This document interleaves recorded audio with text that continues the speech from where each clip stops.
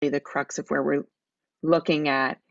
And that specifically uh, looks at the ways in which we segregated, pur- purposefully segregated the US in all aspects, specifically not only through the ways in which we acquired land, but also in the ways in which we started zoning at the turn of the 20th century to assure that the Jim Crow laws and laws of segregation not only were enacted on buses in schools, but also in the design of our cities. As long as the United States has been in, uh, in existence, there has been attempts to have national reparations. Unfortunately, uh, those have often um, those have failed. And uh, you see here on the right hand side just a couple of markers, although there are other attempts for reparations in our history. But beginning after the Civil War with uh, the 1865 Sherman Special Order, which people know as 40 Acres and a Mule, um, into pre present day with HR 40, which is very pressing, and there's a lot of efforts right now to have that uh, have a vote uh, on the House floor. Um, so as you can see, there has been a demand to respond to these historical injustices. Why? Uh, because not only have they continued through unto today, as I demonstrated in the slide with the different errors, but they also have reverberating effects onto today, the long-term impacts with real consequences that demonstrate in every facet of the US significant disparities, black and white disparities. So let's just take a quick look at those. So this is a survey that was done by the Federal Reserve in 2019. And you can see here when looking at wealth gap, homeownership, and economic disparity, the white and black disparity is the greatest in the US. Here's a little bit more detailed look at home ownership gaps. Uh, the red uh, line at the bottom of the first graph on the left is uh, black alone, and the black line on top is the white, uh, non Hispanic white alone. And also, similarly, you see on the financial disparities. Education is an area that also demonstrates significant black white achievement gap. And this has been persistent since we started taking data, uh, statistical data on education uh, after Brown v. Board. And this has not changed significantly, statistically significantly since then. And you see here the National Center for Education Statistics in 2020 and a demonstration of those persistent gaps in all top in, in all disciplines, academic disciplines. Oftentimes within the field of education, there's a lot of conversation about the uh, school to prison pipeline. Um, we see only uh, we see a graduation rate uh, that has been slowly increasing, but um, still is statistically significantly different uh, for Black students compared to the white population. And as you see here, the incarceration is 5.9 times more likely for a Black individual to be incarcerated than a white even when comparing the same exact uh, activities. So because of the inability for reparations to be uh, found at the national level, starting in the 1990s, we began to see local level reparations. And this is actually a reflection of what was happening internationally as well. And this is a table that was put together by the University of Maryland. What that research showed at that time was that despite that there were incidences of successive reparations at the local level, these efforts were done in isolation. There was a lack of awareness across the board of who was doing what in different communities, even if they were only 45 minutes apart in distance. And in addition, these were often fueled simply on the backs of uh, volunteers who felt deeply about the need for racial just, justice and repair and um, and so oftentimes they came without any type of institutional support or funding. So that's where we decided there was a, a need for creating an African American redress network. And I'm going to start to talk to you here about who we are and what we do. And I want to really uh, specifically focus on the fact that reparations is not just an end goal, it is the process. And with that, we thought very deeply about how we design this project. One of the first things we did was this project became a collaboration between Howard University and Columbia. As a predominantly white institution, we recognized that Columbia should not be forwarding this project. And um, I wish that my partner was here from uh, Howard. I work closely with Billy Wilkerson. Um, she's being a brand new grandma at this moment. Uh, but we do everything together. We collaborate on every single aspect, and Howard often leads the way in um, in much of the work, particularly because they're um, the work that they do is housed within the School of Law at the Thurgood Marshall Civil Rights Center. Uh, we do collaborate also with the Institute for the Study of Human Rights at Columbia. Um, and so these collaborations are very important in that we're demonstrating that reparations is a is an effort that has to be done as we walk through this together. I also want to bring to your attention the purposeful design of the steering committee. On the steering committee, you will see national reparationists, local reparationists. These individuals also help guide the work we do. We are all about intensely listening uh, to the communities that have experienced these historical harms uh, as we know, those voices can speak to us from experience and can help lead the way. Our work is framed within the international human rights framework, and it's important for us to pause and just take a look at that because within the US, oftentimes when you say reparations, immediately the response is compensatory. Within the international human rights framework, compensatory is one of the categories, but there are actually five categories within the international human rights framework. And they are satisfaction, which would be something like an apology, an acknowledgement, memorialization, restitution would be a giving back, perhaps of land. Compensation is oftentimes what we think about. Those can come in the forms of scholarships, such as uh, what happened with Rosewood, Florida. Rehabilitation can be physical and mental health services, and we've seen those happening in the United States and guarantees of non-repetition. So that might be actually working with policing departments to help them understand their histories and that the uh, racism exists within their institutions, but also that the way they policed exist in the communities that they're policing.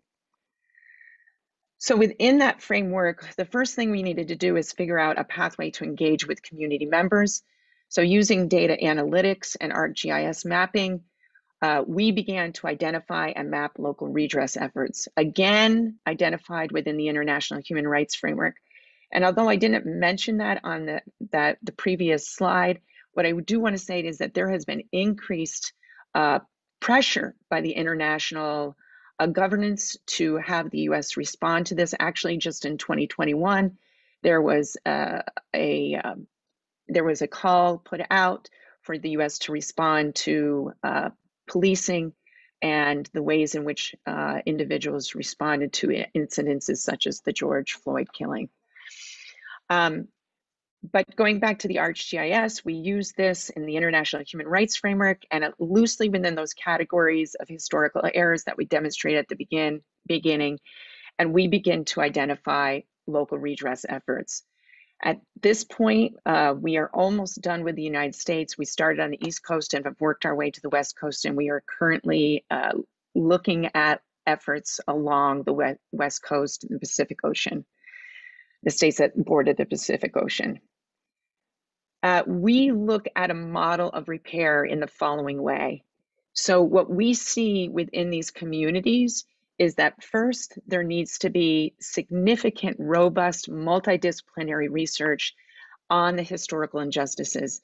Communities are having to demonstrate these histories through archival data, genealogical research, uh, and then once they've uh, provided a robust argument for them, then there is oftentimes the need to demonstrate the measurable impact. So, kind of looking at the harms that I discussed at the beginning, but showing them not only at the national level, but also at the local level.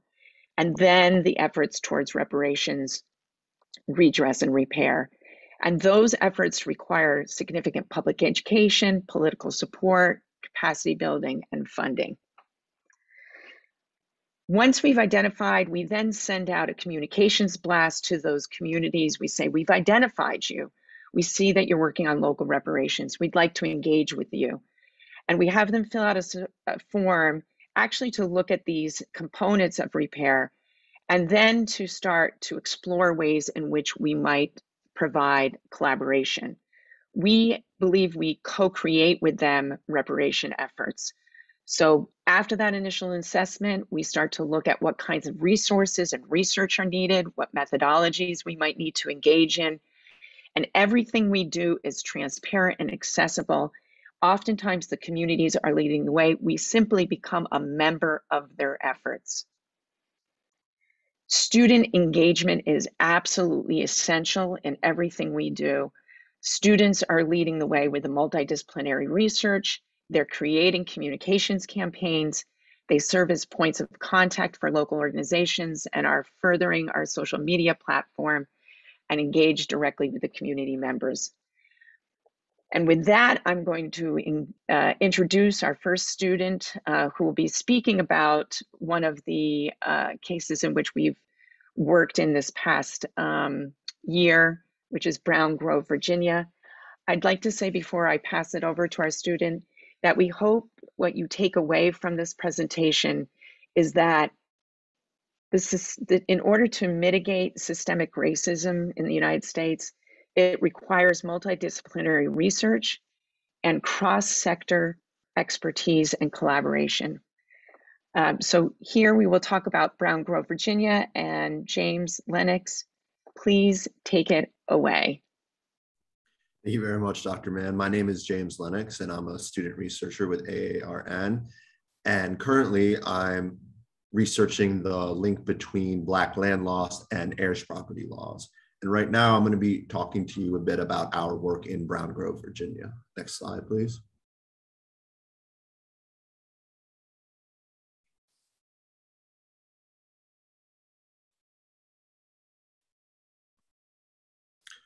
So before we dive into the current work being done in Brown Grove, it's really important to give a brief overview of their history. So Brown Grove now is a predominantly Black community, but what's important, and it has this really incredible history, is it was settled during the Civil War by freed slaves. 14 families settled, and it was initially a thousand acres. And it was built on partial swampland. That's particularly important because during that era, swampland was often a refuge for runaway slaves. It was an opportunity to have some protection through the environment. And it was also an opportunity for them to build a community. And that's what Brown Grove was. The 14 members built a really self sufficient and thriving community. Um, there was uh, predominantly, or all, there was a black church and it was actually named slash church and that's significant because slash is another word for swamp. That was built by the initial settlers and what they did there really was incredible. It was a thriving and self-sufficient community. However with that unfortunately comes the threat of existential threats. You could hit the next slide please. So whenever there are thriving black communities what we often see is external harms coming and threatening both their success and their land. And that's been an unfortunate trend throughout Brown Grove's history. Um, what you had was during the 1960s, you had the development of I 95, and that essentially split the community in half. Um, after that, in 1969, there was the building of a municipal airport that further displaced more communities members taking them off their land. Um, it doesn't stop there. There was a development of a truck stop and a concrete plant. That's again further encroaching on the community, pushing people off their land that had been within their families for generations.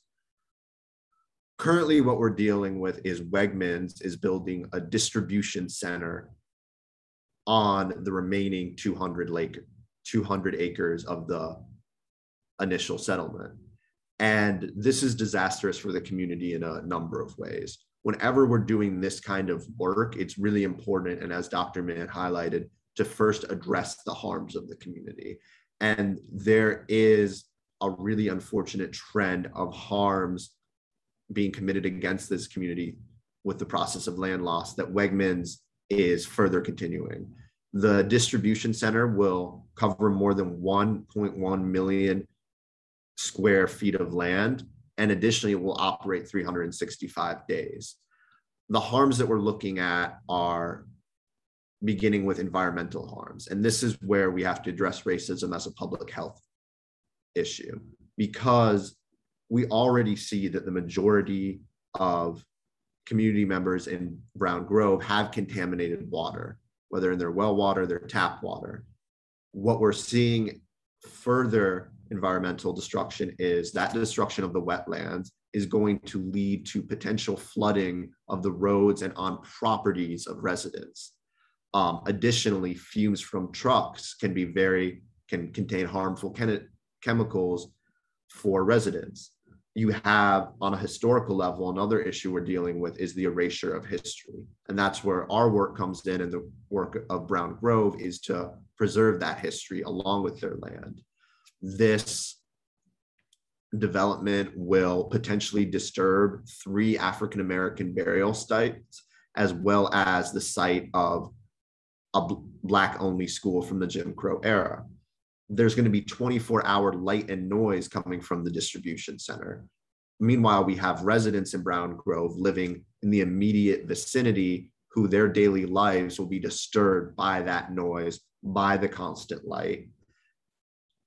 There's also, because of road traffic, where our media kit estimates that there will be an additional 2,864 vehicle trips a day, that increases the likelihood of traffic accidents. Um, as well as going back to environmental harms, you have the issue of air pollution from the development and the um, the center. That could lead to health issues such as cancer, asthma, lung disease, and cardiovascular issues. And that's putting the whole community at risk, including young children who are especially vulnerable. If you could go to the next slide, please. So where we come in is we work with these communities to see what they believe reparative justice should look like, what they want to prioritize. And the community in Brown Grove was particularly adamant about what their desires are. And first and foremost, the priority is to stop the development of Wegmans to that would encroach on their land, disturb both their environment and their history. Another goal is to preserve the history with a community center, demand clean air and clean water. Those are basic human rights that everyone ha- should have. But what we see is across this country with the issue of environmental racism, that Black communities are often placed in close proximity to chemical plants areas that have harmful chemicals, uh, pollutants that are detrimental to their health. And the also what we see is the importance of preserving this really profound history. Like I said, this is really a triumphant story of freed slaves coming together and building a self-sufficient and really thriving community. And it's important to preserve that history, whether that be the burial sites, the Black only school, the site of um, slash church. That's all incredibly important. Next slide, please. So where we come in is we've been working with the Brown Grove Preservation Group. And whenever we're working with a group, we want to emphasize the voice and autonomy of the descendants. They're the ones leading the charge, and we're advocating for them. We're speaking to what they want. And that's what the Brown Grove Preservation Group is. We want to be a part of that dialogue. We want to engage with them. And like I said before, then put forward what their desires are, what they believe can remedy the situation. So, as Dr. Mann mentioned before, a really important, important part of this work is uh, multidisciplinary studies. We want to bring in experts from all fields because we are not equipped to do all the heavy lifting. We aren't experts in every field that's going to affect a community and every harm.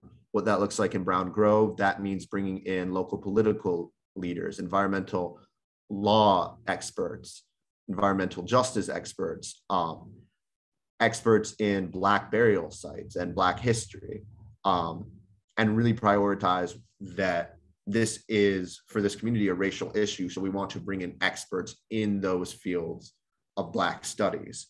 Um, one thing that came up was we brought in and in um, a real estate lawyer.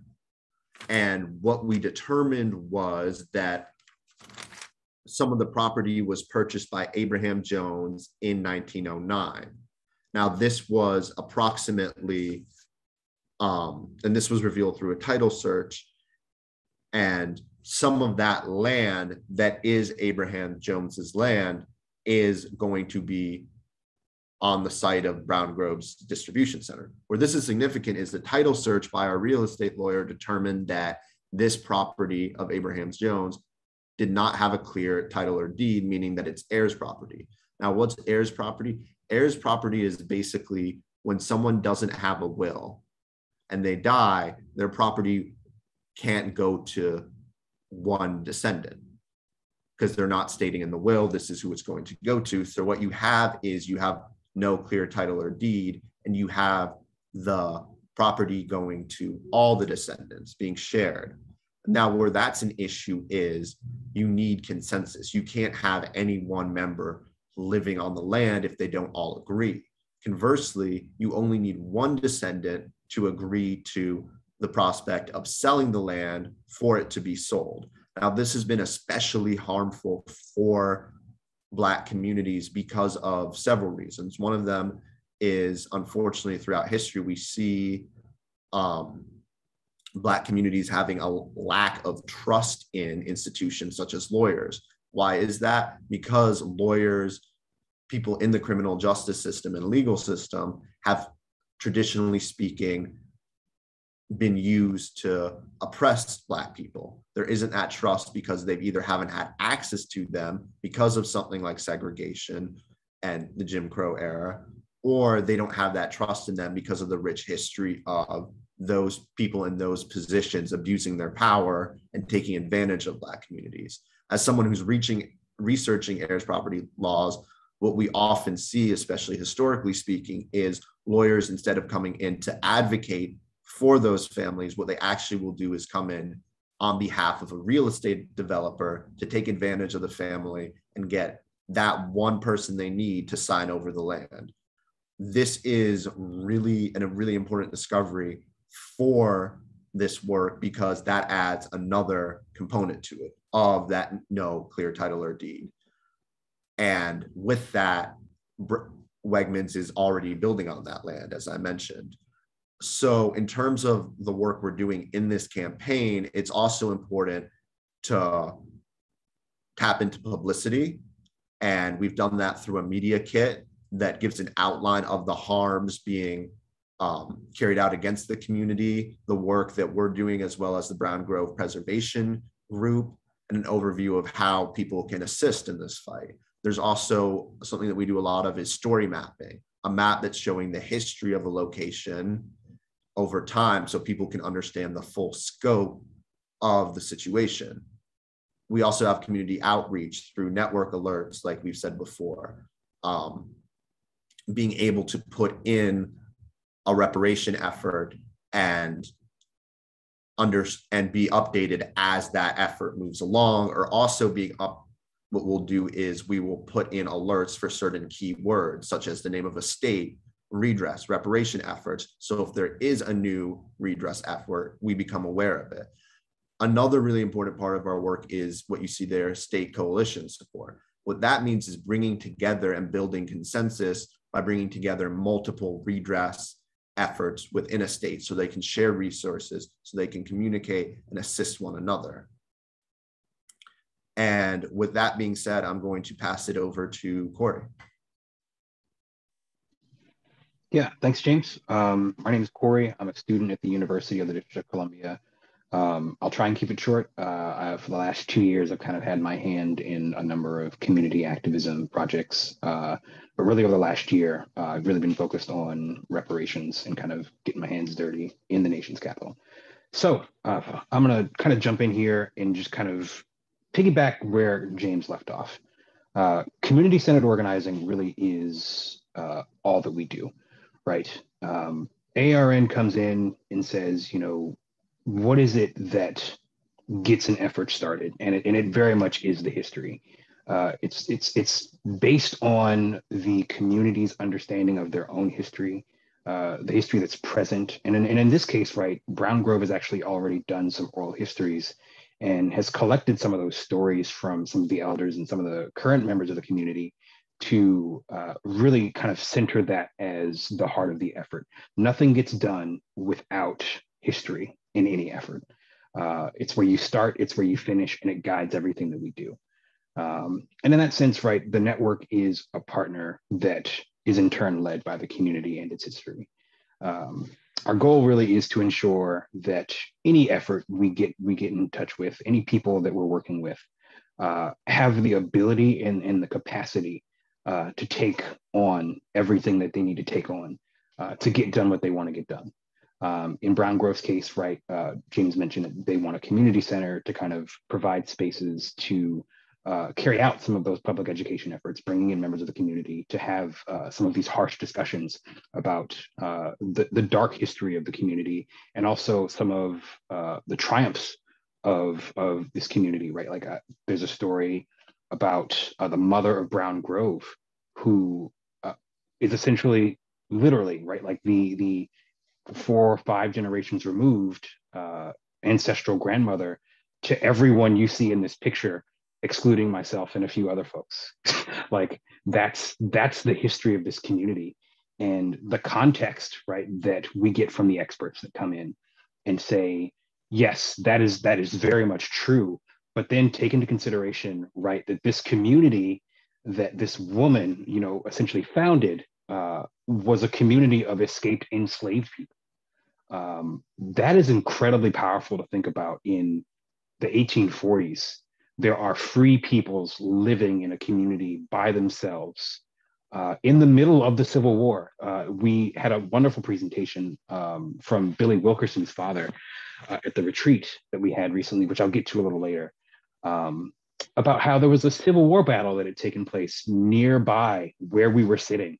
Um, very, very impactful history.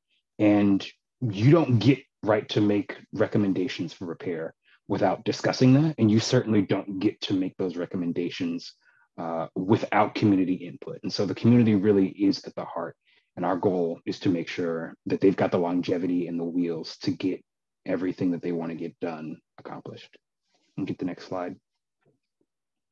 So the weekend of November 6th, uh, we all get together in Brown Grove at a small little lodge. Um, and you know the community had access to come down and work with them on kind of really getting started right? They, they've been going for a while um, as a kind of small community based group and they've gotten some things done. They've gotten a lot of press coverage. Uh, if you follow the issue it was in the washington post a few times. Um, but they're not making as much progress as they'd like to make and so they, they reach out and they say hey we'd love it if you all could put together um, a retreat for us all to come together and, and just kind of start to hash some things out. And so ARN, in collaboration with the International Center for Transitional Justice, come together and we say, great. Um, everyone received uh, a stipend to come out and participate and really get their hands dirty um, to have some of these harsh discussions. And so day one, you know, Saturday, November 6th, we're all in the room and we begin by discussing right? The the very distant history, to borrow a term from Boris Bittker, um, the very very very distant history of Brown Grove, right? Discussing the founding, um, and everyone brought an artifact with them, and so everybody's kind of passing their artifact around, and we're having these discussions. And you know, gradually it, it progresses into a discussion about the more recent history, uh, and we start to talk about the efforts that they've you know embarked on over the last kind of couple of years.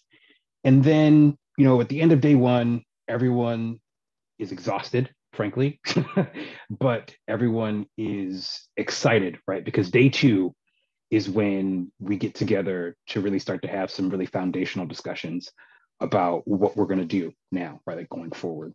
Um, so day two rolls around and everybody gets back together at the lodge and this is ARN at work, bread and butter all day long. Okay. Um, we get together and we say, okay, you know, let's talk about stakeholders.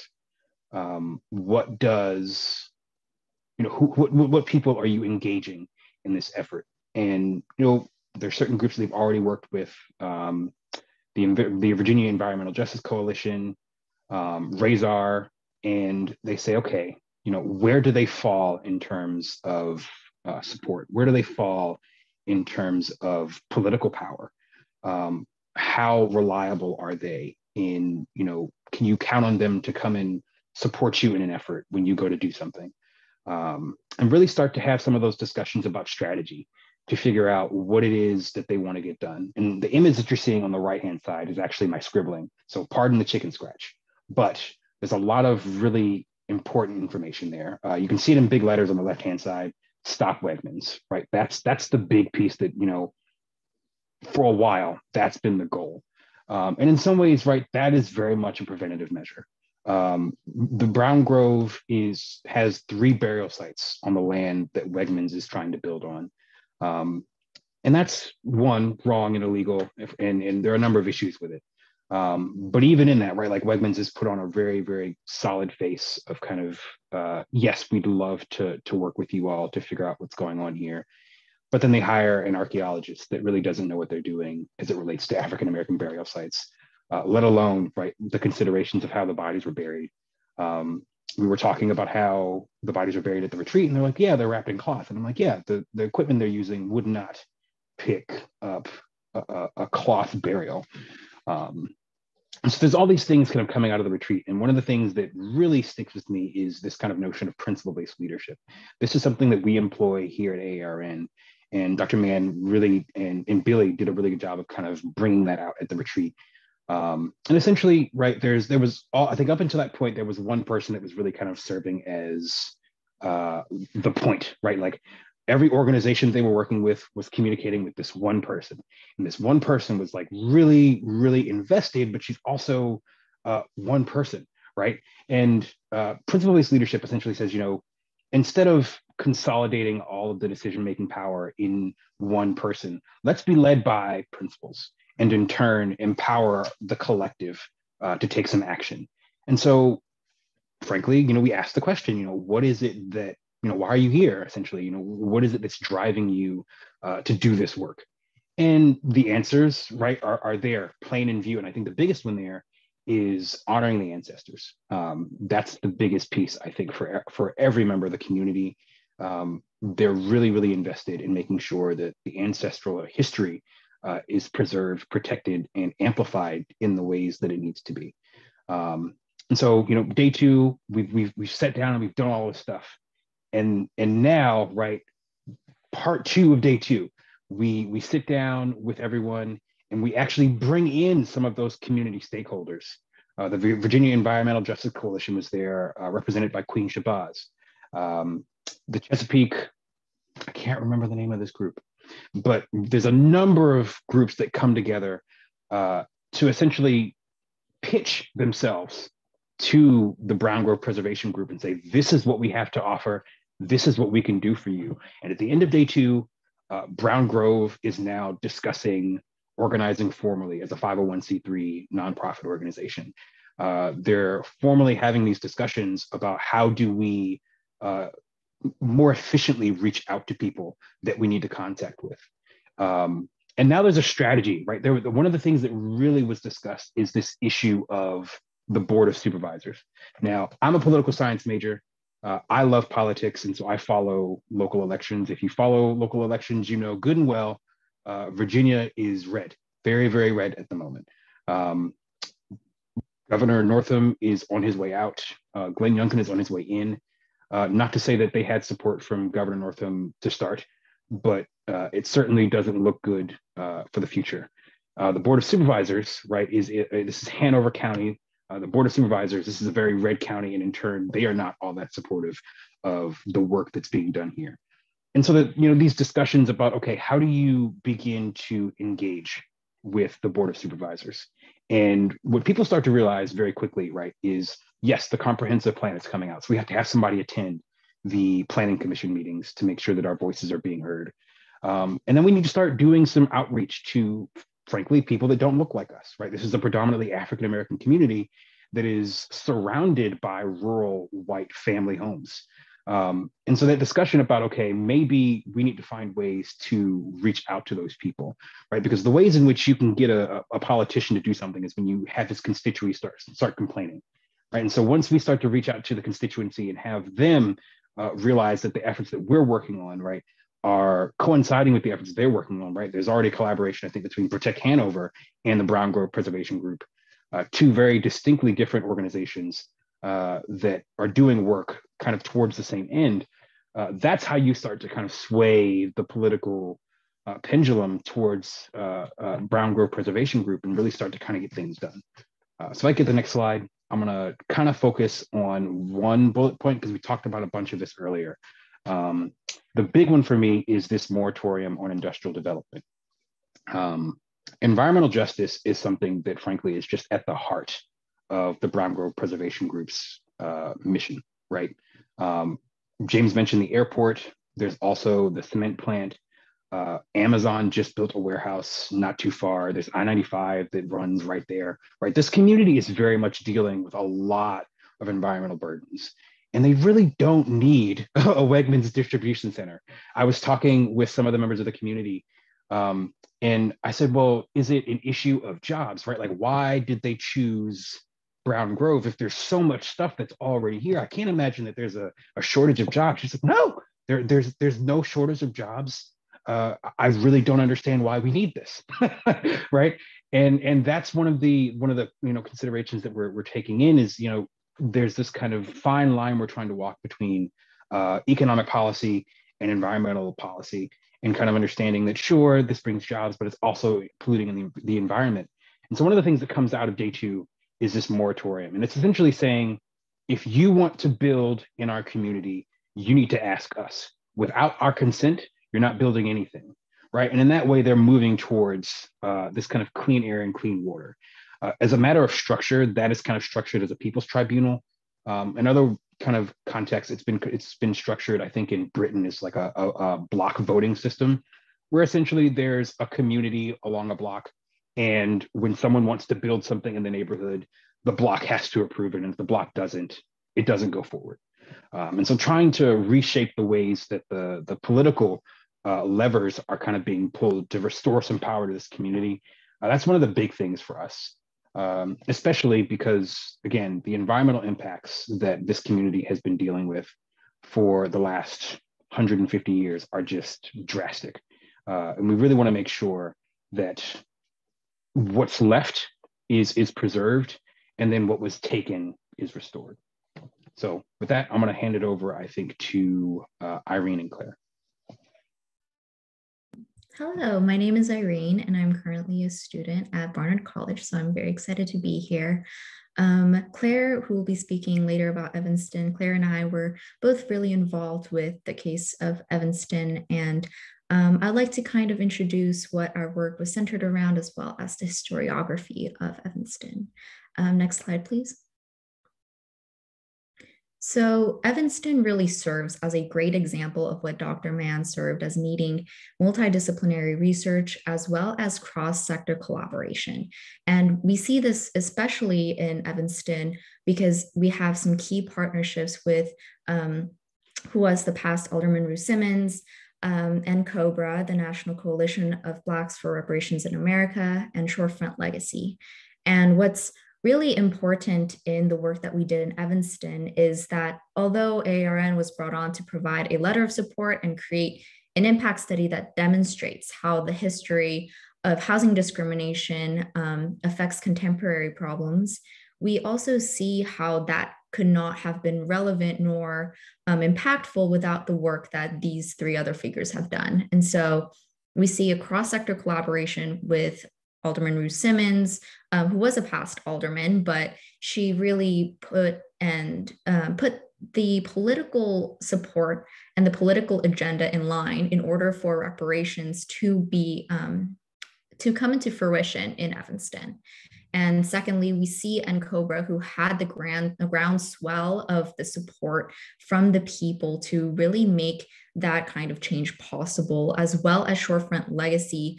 And they have been extremely important um, since they have done a 10 year study that focused on the historiography of Evanston. So, like Corey said, really emphasizing the oral history and the, the first person um, effects and testimonies that these people have endured in Evanston um, in order for us to really understand and educate ourselves about how long this issue has been around, um, issue of housing discrimination.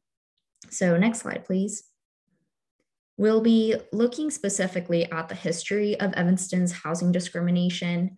Um, a lot of the problems we see in contemporary times has been a problem for generations and has been institutionally um, intentionally designed for these communities and in 1910, we start with the Great Migration, where we see that Evanston was had a physical barrier barrier of a railroad line that separated the Black residents from the white residents um, in the Evanston area. And like Corey and James have mentioned previously in Brown Grove, we see that the I 95 or the physical barrier is the same thing as Evanston, where we see the railroad line, and that some of these trends really are mechanisms of separating communities and enforcing discriminatory housing policies. And in 1920s, um, we see that a lot of these homes of Black uh, people have been relocated and Black families have been forced out of specific regions. Um, if you look at the map at the bottom right hand corner, we see that one, three, and four families that were um, Black families that were there were moved into the second area in red. And I'll get to this in a bit, but that reflects Evanston's fifth ward. Um, but in the 1940s, homeowners loan corporations de facto red lines for real estate agents, um, and they designed color coded maps designating the credit worthiness of certain neighborhoods. And so we see that communities were redlined and were labeled as hazardous. Um, and they essentially were denied federal housing administration backed mortgages. So we see with this uh, predatory loans and lending and inability for people to get access to homes um, if they were applicants who were Black. And more on Evanston's fifth ward, we see in part that part two of the map in that triangle shape is that it was a 95% Black population. So a lot of the majority of the Black people within the Evanston region were concentrated into that one physical area. And we also see a crowding of homes, which reaches 150% occupation. And Claire will get more into the harms that we see that come out of this situation, but we also see that they were not able to expand into the land outside of the fifth ward because of the railroad tracks that were intentionally placed um, in order for to keep the black people and the black residents in that specific area. And so we naturally see a creation of a ghetto um, with the sole purpose of commercial use. And when we think about the correlations between brown grove and what they're facing as well as the history of evanston the similarities are not surprising as these are intentional and um, designed efforts to enforce housing discrimination as well as just segregation in general throughout America. Um, and with this, when we see the map of Evanston as a whole, we see segregated suburbs and a concentration of Black families in one specific location. Um, next slide, please. And so this is a map that looks at the racial and ethnic distribution um, in Evanston. And it's not surprising that even without the lines that specifically show what the wards look like, part two and part five represent the fifth ward, um, since there is a majority Black population there, in contrast to the other areas that are majority white populations. And we see the stark physical barrier that goes through six and five and two are it's the railroad line that creates that physical barrier um, that prohibits the expansion of these families into other residential areas and claire will now kind of go more in depth into the harms that came out of this Hi, um, great job, Irene. My name is Claire. I am a third year student at Columbia College, double majoring in political science and human rights. And I joined the Redress Network over the summer and I've continued working um, and been really grateful to be a part of this community um, through the fall. Um, so I'll start talking a little bit about how ARN got involved in Evanston. Um, the first thing we did was write a letter of support.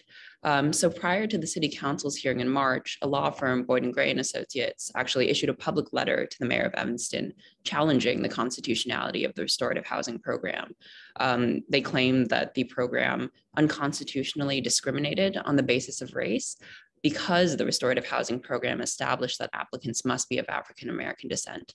Um, they also claim that the program failed to provide narrowly tailored means of furthering a compelling state interest. And so what we ended up doing was issuing a response to that on behalf of ARN, the Thurgood Marshall Civil Rights Center at Howard um, University, um, and Columbia, defending the need for race-based reparations. Um, and that anticipated legal challenge from Boyden Gray and Associates is really what spurred us to conduct the impact study and to establish evidence for the injury to the Black community in Evanston and defend the need for race-based reparations. Um, I'll go into that more um, on my next slide, but at the request of Alderwoman Simmons, we ended up beginning our research and we put together a report over the course of several weeks. Um, the impact study had several goals. First, to provide a history of the effects of past de jure segregation by the city, um, which Irene just went over to provide context for the current de facto segregation that persists in Evanston, looking again to that slide that we just looked at, um, where we see again Black and white communities starkly um, segregated um, within the different wards of the city. Third, um, to demonstrate the scope of the injury and harm to the Black community in Evanston. And fourth, to establish that down payment assistance programs are a narrowly tailored form of redress. Um, and the reason that we did that was to demonstrate that there was a compelling state interest furthered by the program that was remedying the harms to the Black community stemming from the discriminatory policies Irene outlined. And secondarily, that the restorative housing program was a narrowly tailored remedy to those harms by directly targeting housing disparities, which were the cause of those injuries. And lastly, what we're working on right now as our next step is conducting an economic calculation of the positive benefits that the restorative housing program can have intergenerationally. Um, next slide, please. So looking through um, the same framework of historical injustice, harms, and reparations as repair that we used for Brown Grove, um, I'm now turning to the harms that the Black community in Evanston um, endured as a result of the discriminatory policies implemented in the early and mid 20th century. Um, what we did in our impact study was really zero in on Evanston to demonstrate the specific scope of the injury. Um, but again, this is mirroring the racial disparities that we see playing out across the country um, that Dr. Mann outlined in the beginning of the presentation. So we broke down the harms that we witnessed into several categories, economic disparities, health and healthcare disparities, over policing of Black communities, and educational disparities. Um, starting with the first one, um, looking specifically to Evanston, there's a tremendous wage gap between Black and white individuals, um, standing at $46,000. The unemployment rate is double that of white residents, and the percentage of African Americans living below the poverty line in Evanston is significantly greater than that of white Americans. Um, and again, Evanston is sort of this microcosm of what we're seeing across the country, right? Black employees nationally are play, paid 82% of what white employees are the median household wealth for African Americans is on average one ninth of that of white Americans. And home ownership rates are almost 30% lower for Black than white Americans. Um, so, again, looking at home ownership as this metric of um, wealth disparity and a cause of wealth disparity um, nationally and in Evanston. Um, a second impact that we saw were disparities between um, in healthcare and between Black and white Americans. So again, nationally, African Americans have higher mortality rates than whites. There is a 3.8 year life expectancy gap between Black and white individuals. And urban hospitals are more likely to close if there's a higher proportion of Black residents in the population. And one of the most prominent ways that we've seen racial disparities in healthcare highlighted um, are through the ways that they've been exacerbated, of course, by the COVID 19 pandemic. Um, so, in Evanston specifically, the cumulative positive test rates for African Americans are twice that of white residents. Um, so, tremendous disparities once again. Um, when we look to over policing, um, Black residents are policed at higher and disproportionate rates. So Evanston's population is 18.1% African American and 65.6% white. And again, like Irene showed on the map, that is, um, there's much higher populations of Black Americans in certain areas of the city. Again, Ward 5 is 95% Black. Um, but looking to the, um, the policing rates, 60% of adult arrests in 2017 were of African American individuals, and only 29% were of white individuals. So not only are we seeing that more than double of, of those who are arrested are African American, but that's a disproportionate rate, looking again to the fact that African Americans only comprise 18% of the population. And I'll show some more graphics on this later, but these tre uh, trends are particularly prevalent with marijuana policing and the ways that police treat Black individuals. Um, lastly, we looked at educational disparities, which again will have an intergenerational impact um, on the community in Evanston. Uh, so we looked directly at School District 65, which encompasses Evanston and neighboring Skokie. Um, and between grades three through eight there, white students um, perform at 3.9 grade levels above um, the national average. So they're excelling beyond um, the average American student, while African American students are trailing behind at half a grade level. So tremendous disparities between um, the academic performance in Black and white students. Um, and disciplinary policies as well are implemented um, uh, in a racially discriminatory way, with African American students more than 3.3 times more likely to be suspended by their white peers. So if you look again to this graphic that I put on the slide, um, this is just another illustration looking at the wealth gap of how what we see in Evanston is a sort of microcosm of national trends. Um, next slide, please. So I'm just going to show some maps here, just digging into the economic disparities. Um, I have three maps. So the first map on the left illustrates the median household income in different neighborhoods of Evanston. And the darker areas are areas of more concentrated wealth, with the lighter areas um, being areas with lower median household incomes. And you know, again, if you think of that of that map that Irene showed, we're immediately seeing that the area in the center where Ward 5 is, where again, 95% um, of the population is Black, um, it's a much, much lighter, much, much lower median household income area. Um, the next map to sort of highlight that even more is the um, breakup of the population that is Black. Um, and we see again, this is sort of the polar opposite or the flip side of the map that we see um, on the left, um, where the areas again in the fifth ward in the center that have higher populations of black residents are the areas that mirror um, areas of lower concentrated wealth um, and the map on the right, um, which demonstrates the distribution of the white population, um, much more closely mirrors the map that we see on the left, on um, the far left of the median household income. Um, again, wards six and seven at the top left and right have much higher populations of white individuals and much more concentrated areas of wealth. Um, next slide, please. And the second category of harm I'm just going to dive into a little bit more is over policing. Um, so I have three charts here. The first um, is a chart of the total police arrests in Evanston. Um, the blue portion of the chart is the um, pop, uh, proportion of um, total police arrests that are of Black individuals. So that's 63%, an overwhelming majority compared to the other um, racial categories. Looking specifically to marijuana arrests, that's even more. So the red portion of the chart, 71% of marijuana arrests are of Black individuals.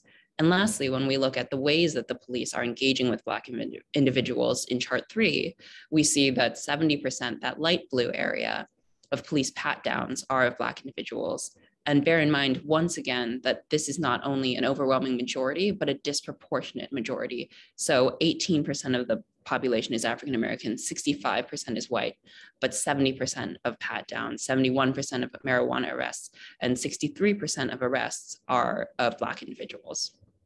Next slide, please. Um, next slide. Great. Um, so in November of 2019, history was made. Um, the City of e- Council of Evanston passed and the mayor signed Resolution 126 R19, which established the local reparations fund. Um, and so what this ended up doing would um, was committing the first $10 million raised from Evanston's municipal cannabis retailers occupation tax, um, which is a 3% tax on cannabis sales, um, to a fund specifically for racial reparations.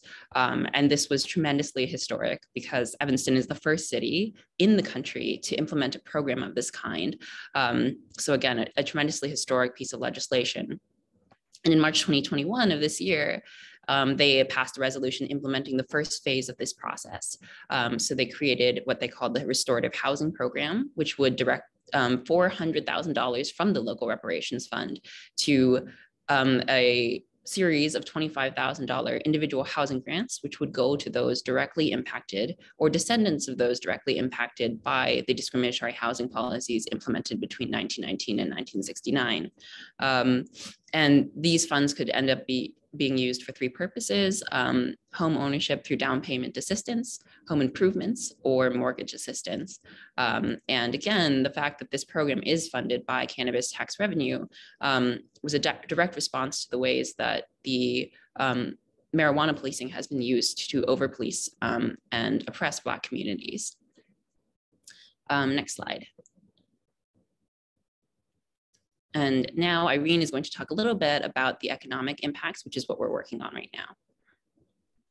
So to uh, go off where Claire ended, at looking at the economic impacts, how we're going to quantify how housing discrimination affects general wealth equity. And the primary goal um, of this was to understand how Evanston's reparation affects African Americans' wealth and racial wealth gap, especially as we've seen with all of the harms um, we see that this is a generational problem and it has caused generations of people to not have the wealth accrual as seen in white families. And so the model, as Claire mentioned, was to pretend that Evanston gave 25%, um, adjusted with inflation to African American residents to purchase homes in the early 2000s. And this is attempting to understand how housing reparations in Evanston will help close the racial housing wealth gap 20 years down the road. Um, and there are various models that economists um, Romeo Arahan and Julie Hewitt, who are collaborating with us on this impact um, economic impact study, are using to get an estimate for that number.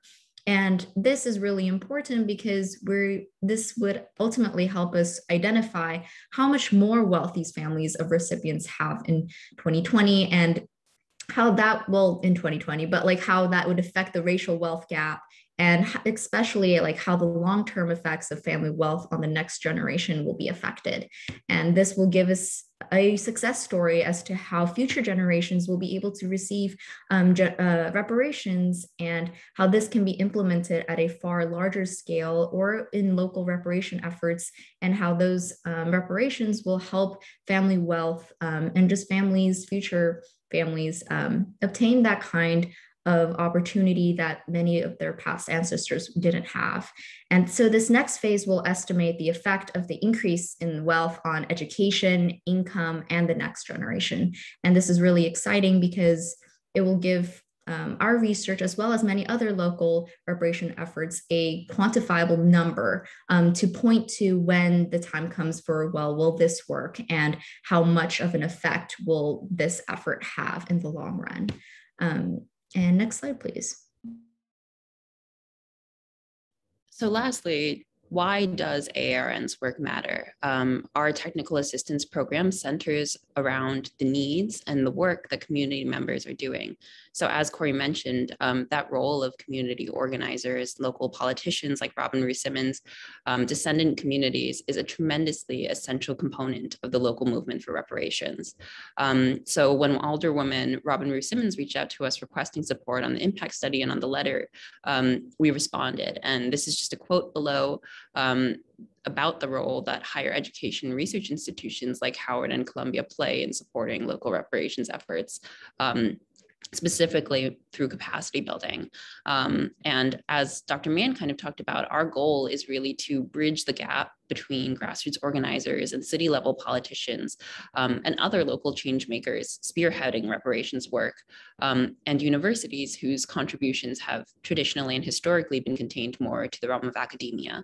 Um, and what we really hope is that ARN can kind of serve as a model um, for other institutions around the country to play a similar role in the local movement for reparations. Um, next slide.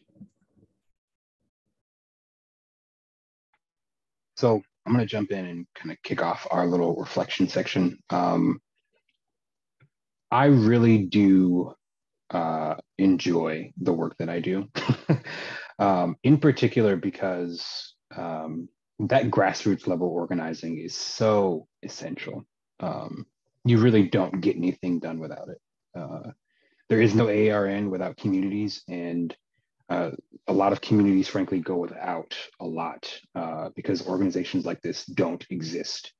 Um, and we're a small collective, right? Like there's maybe like 15 of us, but like we put in, you know, a couple hours here and there, and, and we really try and push forward uh, everything that we touch kind of to the next level. Um, but it really does all start with the community. Uh, I, I really can't stress that enough. Um, communities and their history uh, are at the center of every effort. And when they say, you know, this is something we really think we need to, to emphasize, right? Uh, if, if Brown Grove says, you know, the, the focus, right? Like right now, the focus for them is these three burial sites. Uh, that's the focus. And then we, we focus our efforts and we do what they ask us to do. Um, we assist in any way that we can. Uh, and in that way, right, I think, and I speak for all of us, I think in this way, uh, it's a privilege and a blessing to kind of occupy these spaces and uh, you know be able in some way right to try and affect change. Um, and i can kind of pick up from there. And one of the most frustrating parts about the academic portion of the reparations efforts as AARN is providing is noticing how much gap there is between the research and especially when we're trying to get the firsthand accounts of um, the people who are most affected by the discriminatory practices, we see that the research really isn't there. There is no um, historical logging or preservation of that kind of work. And that's why the work done by Shorefront Legacy, as seen in Evanston and various other local reparation efforts, is so important because it really encaptures and preserves um, the oral history as well as the essential proof of how harmful these discriminatory policies were um, for the future generations. And um, now we are using those um, resources as ways for us to really create that argument that reparations is so, so needed in these communities. Um, and just as a student, when we are looking for um, the evidence or the historical impacts it's it's frustrating to see how little there is that supports reparation works or really focuses on how it affects um, how discriminatory practices affects families across the board um, and in multidisciplinary ways and i think it really touches to the core of our model for reparations and harms is that we need the cross-sector collaboration and the multidisciplinary approach because without that, it really is a fruitless effort, um, especially given that academia and higher ed does not really support this in ways and at the scale that it should be. And I'll just jump in following. Um, I am also a political science major. And, you know, I think kind of going off of what Corey had said, something that I learned from the work that we um, you know did in Evanston is that I think so often um, when people talk about reparations, they think of things like HR 40, right? The federal um, kind of efforts at legislation that have remained stagnant for 30 years. And we keep asking sort of why can't we do that? Why can't we even create a commission just to start talking about reparations? And I think what I realize is that a better question to ask is who is already making change at the local level? People like Alderwoman Robin Rue Simmons, people like Renata Harris um, in Brown Grove are already doing this work across the country. It's happening in Virginia and in Evanston and in Detroit and across cities across the country. And I think that that's something that doesn't get enough media attention and doesn't get enough recognition.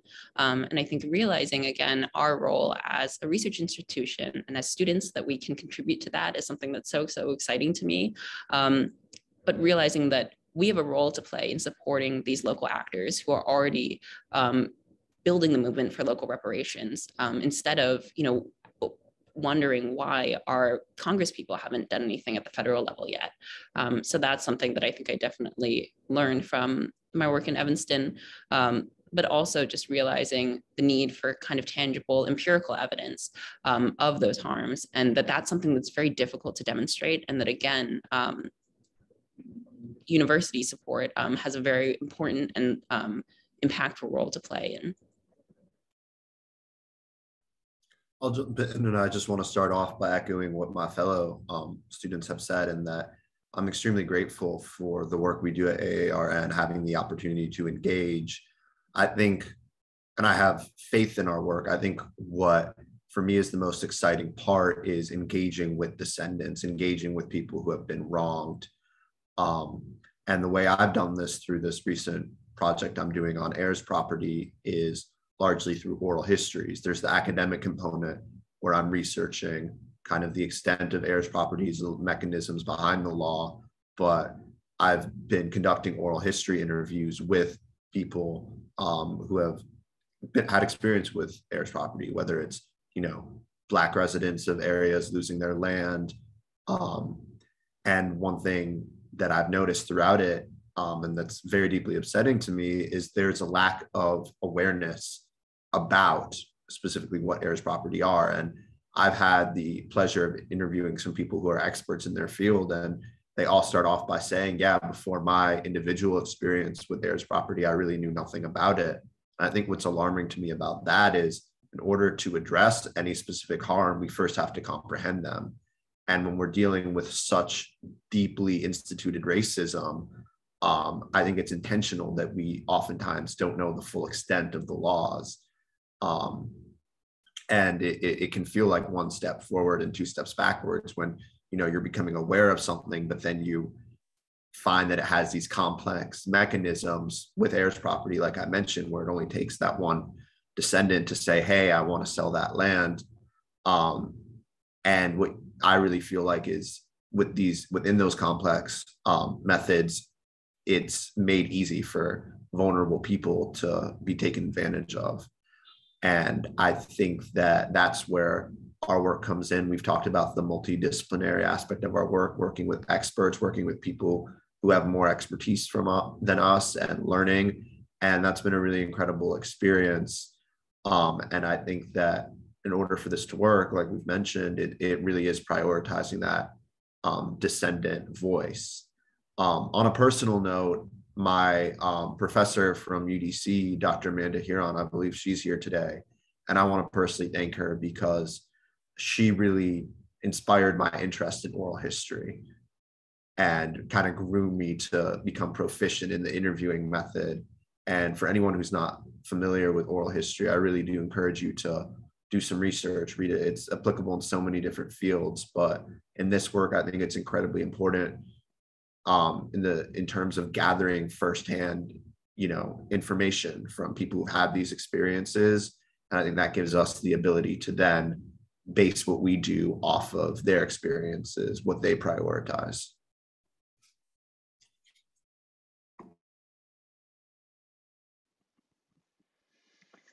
Uh, Corey, Irene, Claire, James, what an incredible job you did today. Um, you truly are amazing. And as uh, everyone can see, this project would not work without these incredible students who spent an, an exceptional amount of time um, researching and engaging with the community. And so um, I really want to use this opportunity to give a heartfelt thank you to each and every one of you and to also uh, your peers that are not here today, our other student uh, researchers that work alongside us at the African American Redress Network, both at Howard and at Columbia. And we should note that Corey and James are from the University of District Columbia, another HBCU um, in which we are incredibly grateful. Um, we do have students from other universities as well. One of our students is from the University of Washington, Washington, Seattle. Um, and so we um, we welcome individuals to join us because um, in my reflection, um, this work is is is uh, never done. Um, there's so much to do and we are constantly being asked to uh, provide technical assistance and research and resources um, to elevate the efforts that are happening on the ground floor. and to co-collaborate with those communities in an effort to advance this work. So uh, the call is great. The call is urgent, and um, and the call is now. And it's it's you know, and it's been there for the entire length of our history. So uh, we welcome anybody to to join forces with us um, and to do this most meaningful work. And honestly, as one of the students said, it is truly an honor and privilege to work with the communities, and we are humbled uh, by their um, efforts and and and and being able to work alongside them uh, every every day. So with that, I guess um, we'll see if there are questions um, in the Q and A. Um, let's see. Have you discovered state of Virginia collaboration in the Brown Grove land theft? Does somebody want to answer that? Is this like, I, I didn't see that one in the Q and A, but is this essentially asking, like, do we know of the land that's been taken? Yeah, it looks as if, um, so we have two different, we have the Q and A and the and the chat. It says, have you discovered state of Virginia collaboration in the Brown Grove land theft? Not to my knowledge. Um, I will say that it's likely, right? Whether it's at, uh, and this is something that we see not necessarily in land theft, but in the ways in which there's zoning land. Um, I think it was uh, Charlene's property that I think she wanted to build something, or uh, she was trying to petition uh, the clearing of land behind her home. And she didn't realize it right at the time, but when she went to, you know, make the complaint, uh, she finds out that her land was rezoned from residential to industrial. Um, and so there's definitely some state action occurring. Um, and oftentimes, right, like there's definitely instances of like the use of domain in other cases. But I think in particular here in Brown Grove, it looks like it's zoning practices uh, currently that are being used to kind of take land from people. I'm just going to piggyback on that for a minute. Thank you, Corey. Um, one thing that's important to note is that in reality, um, Rebecca, uh, the governor actually was supportive of the development of Wegmans. Um, and there were tax incentives given to Wegmans for development on this tract of land. So um, that is not in their, that has not been beneficial, obviously. Um, although we have found some political, uh, in, some individuals within the governance locally that have been supportive of Brown Grove. Um, okay, do you know, um, you mentioned that there are 450 local redress efforts. Do you know if they are aware of each other's efforts? Is there a community knowledge sharing network that those who are getting started might tap into? That's a great question. Marion, I'm going to take that one because it's something we're working on. So the network works um, collaboratively and people do, we do have mailing lists and people are on those and we do make connections for them. Um, and we hold conferences and convenings every year so that they can uh, connect with each other on them. There is a shared um, contact list um, as well. And so organizations can connect through those contact lists. But we're constantly having individuals reach out to us as well, asking for pointed contacts. Um, an example recently, we started engaging with Kansas City Reparations Coalition, and they wanted to speak to another city that was looking at reparations. And so we put them in contact with King Boston out of Boston, Massachusetts, uh, to engage and learn about their processes there and to see what was applicable to the Kansas City Reparation Coalition. Um, I see that there's another question. Considering the parallels, although incommensurable, of land theft between Black and Indigenous communities. Are there any current or burgeoning partnerships with Indigenous community leaders in the area?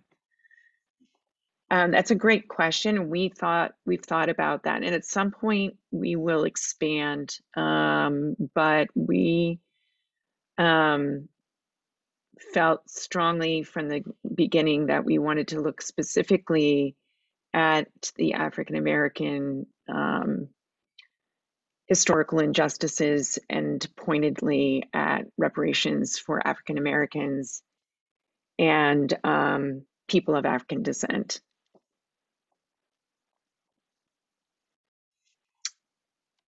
Uh, in what ways have your original views and understanding of the Black experience in the United States changed? Okay, this is for the students. In other words, what prior knowledge and care did you bring to this project? And how has your awareness and the impact of your newfound knowledge affected you personally? I can start on this one. Um, I think for me, what changed it wasn't too much, but the main thing was just the level of oppression. I think going into this work, it's impossible to ignore that we're, you know, a country based on racist ideas um, that at time has, I, I often say the government type, I think has bordered on just plain white supremacy. Um, so I think going in, it's impossible to ignore the, the levels of institutional racism in this country. And, you know, we all knew that coming in. For me, it was kind of what I talked about in the reflection, understanding the mechanisms that allow for oppression, legal loopholes with heirs property, um, and how, you know, racism isn't always in your face. It's not always, you know, segregation. It can be these legal practices, these loopholes, these political mechanisms to oppress people and to um, rob Black people of the opportunity to develop generational wealth. Um, and I think also what I've learned is just throughout this that there is kind of a guideline, um, a skeleton for how to engage with groups of descendants, how to prioritize them. And it's not going to be the same for every redress effort. But um, I remember in an early conversation I had with Dr. Mann when I started, um, she really emphasized the most important part of this work is um, allowing for descendant autonomy and for their voices to be placed at the forefront. And like I said, all efforts look different, but I think that really is the most important component to a successful redress effort.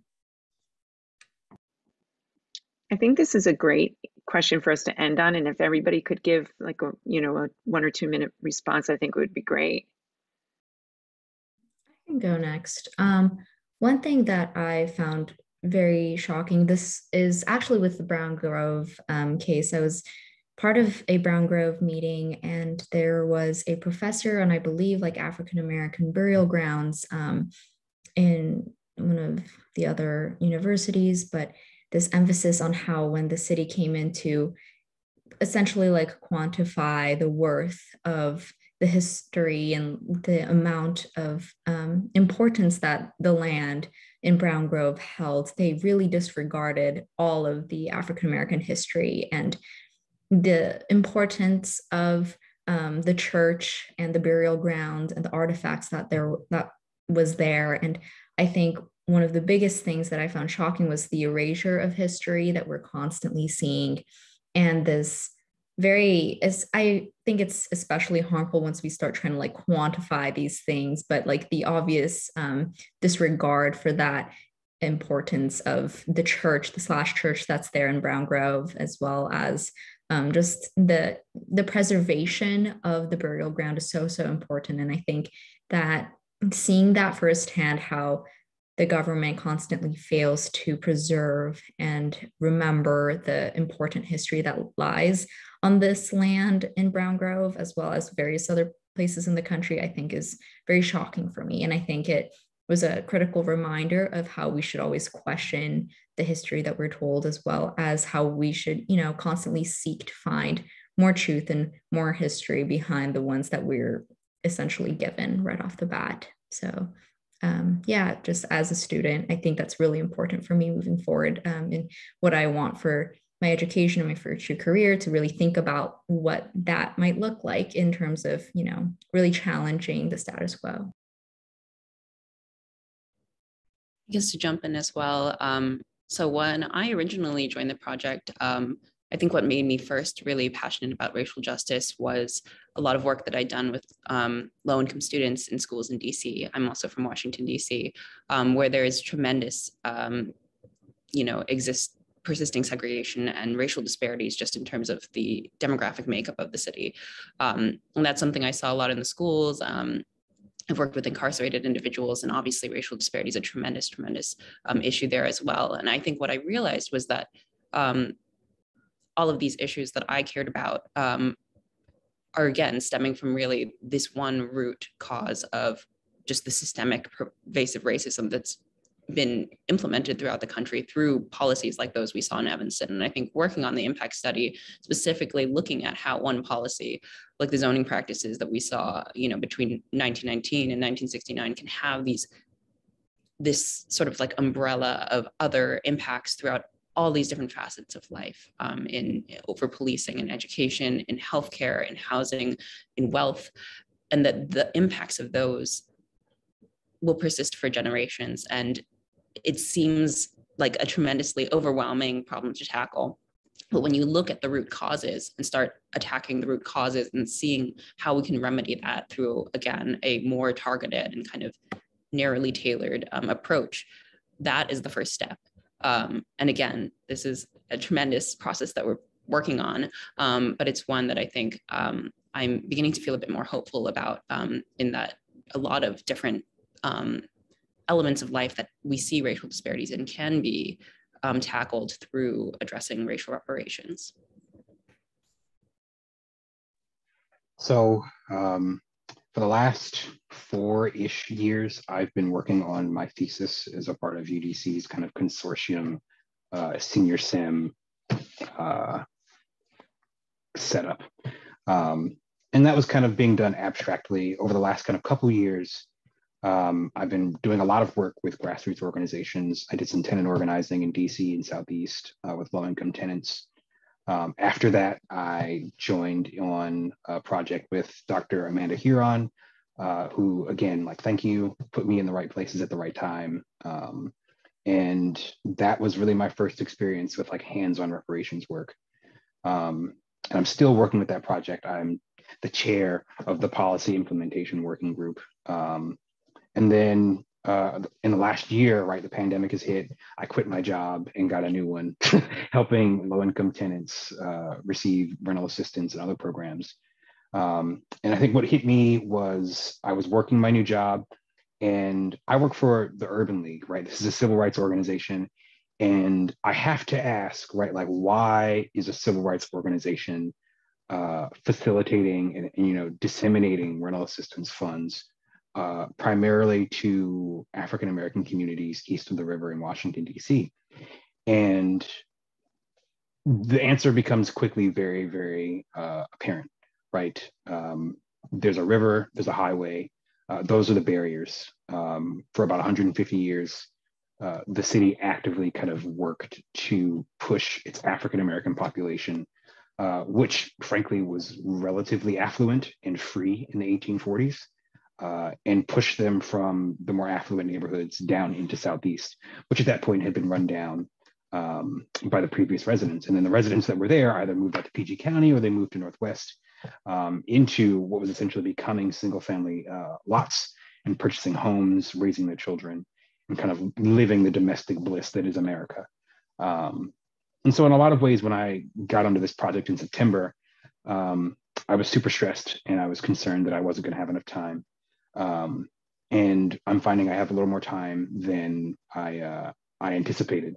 And so uh, as it relates to like these projects, I mean, it's you come in and, and you start to realize how wide ranging the issues we're dealing with are.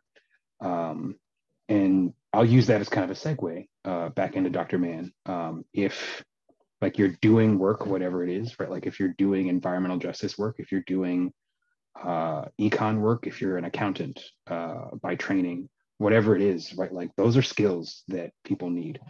Um, if ever you're sitting around and you're like, I love the stuff that I do, just not the work that I'm doing, please join us. Um, we could always use the manpower. Corey, you, you took the words from right out of my mouth. Um, absolutely. If anybody's interested, I put the uh, website in the chat. Um, I also put our direct email to our organization. Um, and I will just say in closing for myself that um, I began working in this area about 15 years ago deeply. Um, and there's to talk about how it's changed me personally would be um, would would be a book.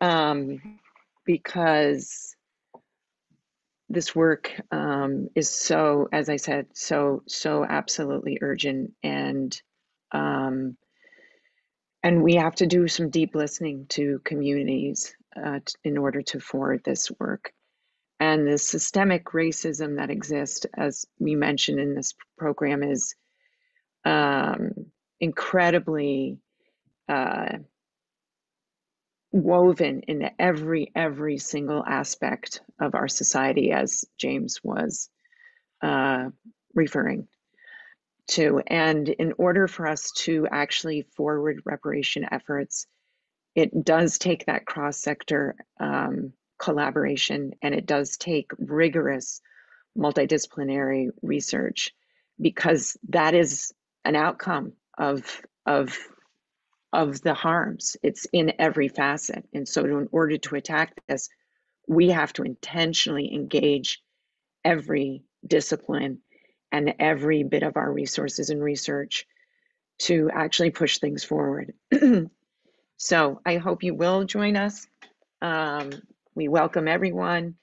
And uh, I, we have incredible students in the project, and I can't again thank everybody enough. Um, again, James, Corey, uh, Claire, Irene, you did an incredible job. Kudos to the four of you for your work on this. And thank you everyone for, for um, listening in.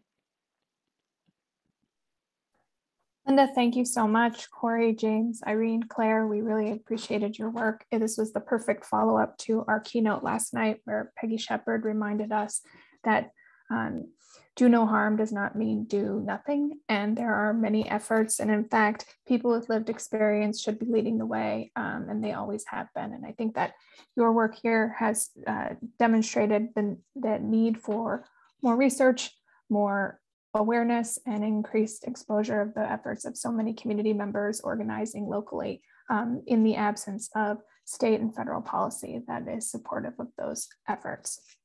Wonderful presentation.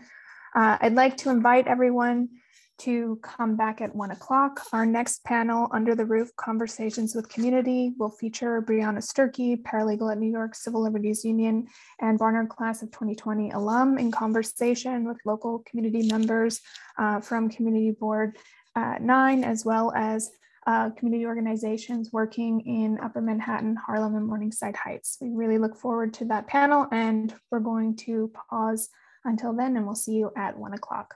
Thank you again so much. Really appreciate it.